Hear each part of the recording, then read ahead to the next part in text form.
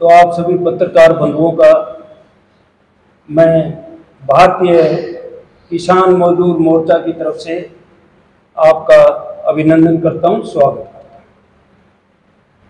हमारा भारतीय किसान मजदूर मोर्चा है जिसने आज बैठक बुलाई है। आज छह लोगों को हमारे कार्यकारिणी की एक बैठक हुई है, जिसकी अध्यक्षता मैं संयोजक सतवीर सिंह पूनिया के जिम्मे लगाई गई है। हमारी अब से पहले दो तीन बैठकें हो चुकी हैं। आज की बैठक में भी पाँच अक्टूबर को होने वाले हरियाणा के विधानसभा चुनाव के बारे में विस्तृत चर्चा की गई। इस बारे पहले भी बैठकें हो चुकी हैं, जिसमें किसान मजदूर द्वारा चुनाव लड़ने के बारे घोषणा की गई है। जिसके बाद आम आदमी पार्टी, इंडियन नेशनल लोकदल व कांग्रेस पार्टी के साथ हमारी बैठकें हो चुकी हैं। आम आदमी पार्टी व इन नेतृत्व ने किसान मजदूर का भरपूर समर्थन किया है।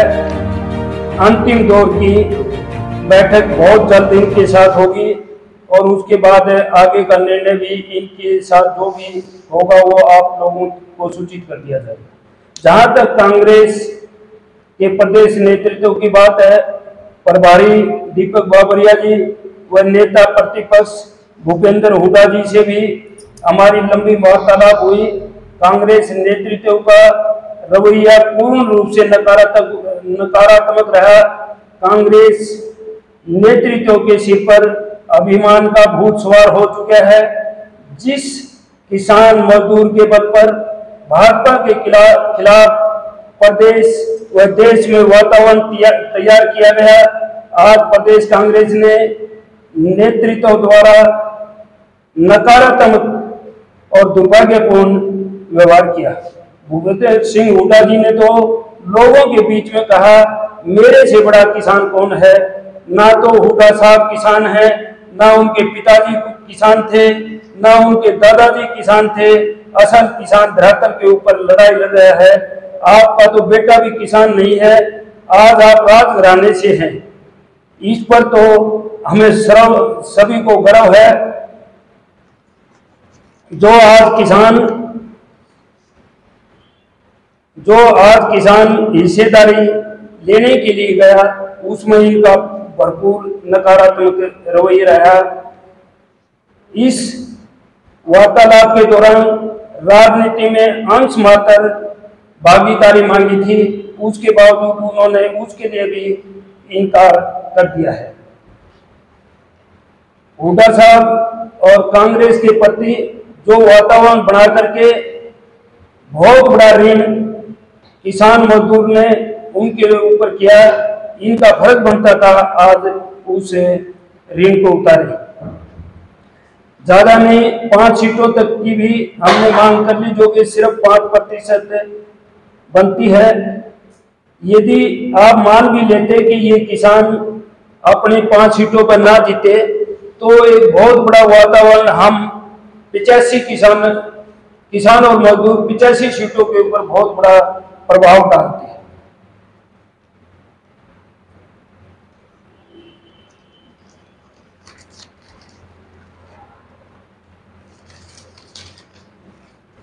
जिस वर्ग ने सबसे ज़्यादा ताकत कांग्रेस और उसके नेतृत्व को दी, उन्होंने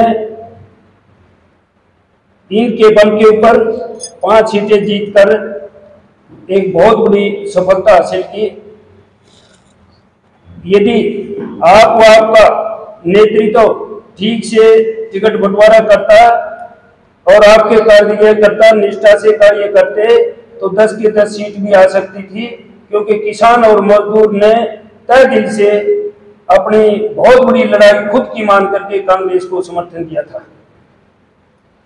हुडा साहब, असल किसान और किसान नेता तो जो धरातल पर काम कर रहे हैं, जिन्होंने विपरीत परिस्थितियों के अंदर तेरह महीने सड़कों पर बैठ करके लाठियाँ खाई गोड़ियाँ खाई, पानी की बौछारें खाई और जिनके 750 भाई बहन माता पिता शहीद हुए, क्या आपकी आत्मा बिल्कुल मर चुकी है?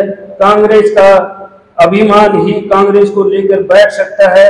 हाँ आप जैसे नेता तथा आप जैसों के उत्तराधिकारी, वह तथाकथित बहुत से किसानों को आप टिकट देने की कहेंगे कि वे हमने इनको किसान के रूप में टिकट दी, लेकिन असल किसान जो धरातल पर लड़ रहा है, उनके लिए हम आपसे बातचीत कर चुके हैं, जो कि आपका नकारात्मक है। हम केंद्रीय नेतृत्व नेतृत्व से अनुरोध करते हैं कि अपने प्रदेश नेतृत्व को दिशा निर्देश दें कि अभिमान त्याग करके सौम्य स्वभाव से किसानों के साथ संवाद संवाद करके और आखिरी फैसला दे। इसके साथ साथ केंद्रीय नेतृत्व से चाहते हैं कि किसान मजदूर यानी कमेरा वर्ग को विधानसभा चुनाव में प्रतिनिधित्व दे, दें। राहुल जी, प्रियंका जी, राष्ट्रीय अध्यक्ष जी, सोनिया जी सभी बार बार किसान और मजदूर की बहुत प्रशंसा करते हैं और मानते हैं कि भाई जो अभी लोकसभा के चुनाव हुए हैं उसमें सारे का सारा वातावरण किसान मजदूर ने बनाया, जिसकी वजह से आज वो बहुत बड़े विपक्ष की भूमिका निभा रहे हैं।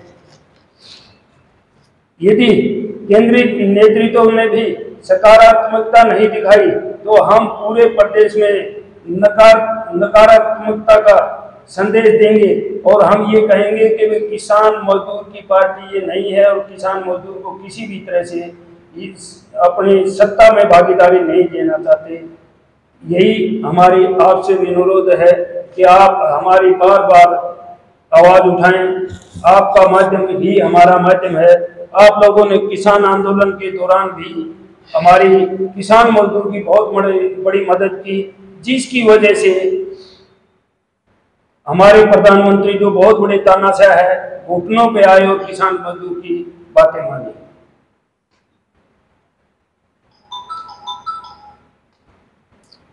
इनेलो के साथ आपका गठबंधन की बात चल रही है संयुक्त मोर्चे की जी। तो इनेलो की तरफ़ से क्या प्रतिक्रिया है? कितने आश्वासन मिला कि कितनी टिकटें मिलेंगी ऐसा है हमने टिकटें मांगी थी बीस प्रतिशत जिसके ऊपर उन्होंने कहा कि साथियों हम इतनी सीटें नहीं दे सकते।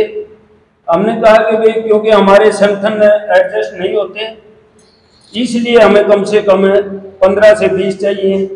उसके बाद उन्होंने कहा, भाई, हफ़्ता दस दिन के बाद में आप अपने संगठनों से बात कर लो और मिनिमम आप हमारे को पेशकश कर दो। जो भी होगा, हम किसानों के साथ हैं, किसानों की पूरी मदद करेंगे। और बल्कि बहुत बड़ी बात है अभय जी ने कही कि, भाई, एक दो तो कहो तो मैं मेरी सीट भी छोड़ सकता हूँ। जिसका हमने ये समझा कि क्योंकि उन्होंने डिक्लेयर कर रखा है, भाई, मैं हैदराबाद से और उचाना से दोनों से लड़ूँगा। हो सकता है कि वो उचाना को छोड़ने के लिए तैयार हो जाए। तो उन्होंने बोला था कि सीएम चेहरा उचाना से लड़ेगा। यानी कि सीधे तौर पे इनका इशारा है कि अबेर वहाँ से लड़ेगा। तो वो सीट कैसे छोड़ सकते हैं? वो वो वो यही तो कर रहे हैं। उन्होंने बहुत बड़ी बात कही है। क्योंकि वो अहमदाबाद से भी लड़े एक जगह से दो जगह से लड़ने की अभी तक उन्होंने घोषणा की इसलिए हमें लगता है कि वे शायद इसी सीट के बारे में कहते होंगे। जैसा कि अभी आपने बोला कि आप हर पार्टी के पास सकते हैं आम आदमी पार्टी नेलो या अन्य किसी पार्टी कोई रिस्पांस अच्छा नहीं आ रहा कल को अगर नहीं मानती कोई भी पार्टी तो आपका क्या फैसला रहेगा? हम अपने संगठनों की दोबारा से मीटिंग बुलाएँगे और हमारे सारे सर्वे करके अपने हिसाब से कितनी सीटों पर लड़ेंगे लड़ेंगे ज़रूर लड़ेंगे दो पर लड़ेंगे बीस पर लड़ेंगे। क्या आपको लगता संगठनों की बार बार मीटिंग समय कम है ना हम दो अब इनके साथ जब फाइनल हो जाएगा तो हम इमीडिएटली नॉमिनेशन भरने से पहले पहले फाइनल करके हम नॉमिनेशन फ़ाइल करेंगे। हम सब तैयार हैं। हमारी ऑलरेडी तैयारी है। जो आप जाना सीट टीवी कह रहे हैं, उन्होंने बिल्कुल कहा है और पूरा इशारा दिया है। हमारी सीटिंग एंड एंड लड़ेंगी वहाँ से और पूरे खुले तौर पर लड़ेंगे। और हर, उन्होंने बड़ा अच्छा किया। हर एक पार्टी का नकारात्मक नहीं रहा। कांग्रेस के कुछ प्रदेश नेतृत्व का थोड़ा नकारात्मक। हमारे को आम आदमी पार्टी ने बहुत सकारात्मक पॉजिटिव जवाब दिया है। वो हमारी मदद करेंगे। इंडियन नेशनल लोकदल ने पूरा आश्वासन दिया है। लोकदल की तरफ़ से पूरा आश्वासन मिला है। तो जो बीजेपी के खिलाफ उनमें कांग्रेस का रहा और आज भी हम ये चाहते हैं, कांग्रेस का राष्ट्रीय नेतृत्व किसान और मजदूर की आवाज़ सुने। क्योंकि हम हिस्सेदारी ही चाह रहे हैं, सत्ता नहीं। अभी आपने कांग्रेस की बात की कांग्रेस से आप कितनी सीटों उम्मीद करेंगे चाहे वो कुछ तो रखें क्योंकि प्रदेश में अस्सी परसेंट से ज़्यादा किसान मजदूर है। हम चाहते हैं कि 10-20 परसेंट कुछ तो हो क्योंकि किसान अपनी हिस्सेदारी चाह रहा है वो राजनीति में आना चाहता है। अपने इंदुला की बात करिए इंदुला के साथ जाना चाहते हैं। इंदुला ने हर एक जगह बीजेपी का साथ दिया है तो यदि सरकार बनती बीजेपी का साथ गए तो।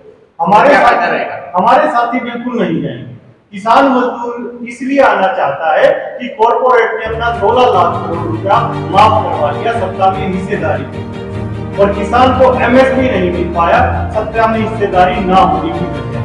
तो हम चाहते हैं किसान को एमएसपी मिले मजदूर को उसकी जो दिन की मनरेगा की दिहाड़ी है वो उसे दिहाड़ी मिले उसे पूरा मुआवजा